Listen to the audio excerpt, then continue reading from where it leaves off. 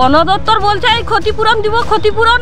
সববারেই তো এরকম যে ফর্ম ফিল করতে বলে হাতে হাতে টাকা, আমরা একবারও টাকা পাইনি। আমাদের ক্ষতিপূরণ না পেলে আমরা অবরোধ করবই। হাতে এই চাষের ক্ষতি হয়েছে প্রচুর। প্রচুর পরিমাণে ক্ষতি। চার বিঘাতে আমার একটাও ধান নাই। আমরা এখন আর কি করব? আমাদের ক্ষতিপূরণ তো আজ পাঁচ বছর হলো, একটাও পাইনি।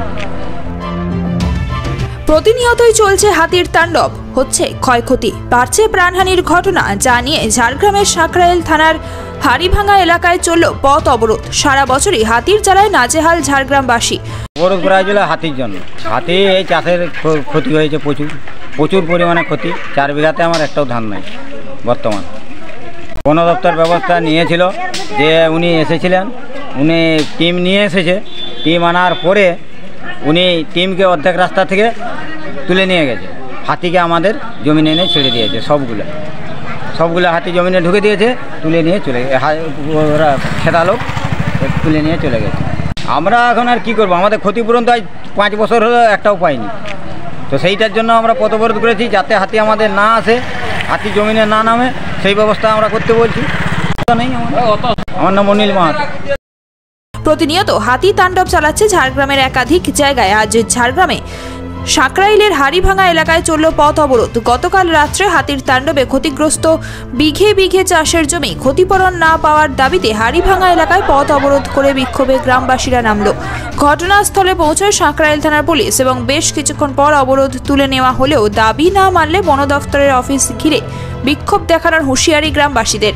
সাঁকরাইলের হাঁড়িভাঙা এলাকায় পথ অবরোধের কারণে বেশ কিছুক্ষণেই শুরু হয় যানজট। কেশিয়াপাতা, ধানঘড়ি, লোধাশুলি যাওয়ার জন্য রাস্তা কিছুক্ষণ বন্ধ হয়ে যায়। ঘটনাস্থলে এসে পৌঁছায় সাঁকরাইল থানার পুলিশ। তারপর অবরোধ উঠে যায়, পরে স্বাভাবিক হয় যানজট। এই যে আমাদের আড়াই বিঘা, আমার আড়াই বিঘা, আবার লোকের পাঁচ বিঘা আছে, দশ বিঘাও আছে, যে ক্ষতি হয়েছে আমরা অনেক কষ্টে চাষ করছি।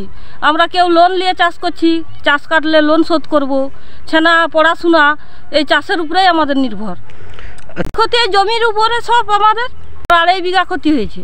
সব অনেক হয় পঞ্চাশ ষাট বেশি হবে আবার। বন দপ্তর বলছে এই ক্ষতিপূরণ দিব ক্ষতিপূরণ। সববারেই তো এরকম যে ফর্ম ফিল করতে বলে হাতে হাতে টাকা আমরা একবারও টাকা পাইনি। আমাদের ক্ষতিপূরণ না পেলে আমরা অবরোধ করবই। আজকে ঘেরাও আর হচ্ছে না এরপরে একবারে ওই যে রেঞ্জার অফিসে যাবে সবাই গেছে আমাদের লোক। আমার নাম মল্লিকা পালক রিপোর্ট বঙ্গের খবর।